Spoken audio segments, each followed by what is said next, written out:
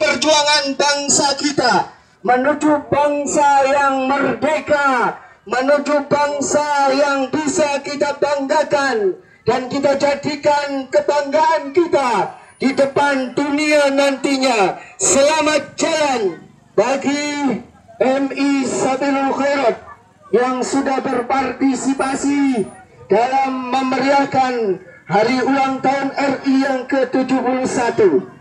Sekali merdeka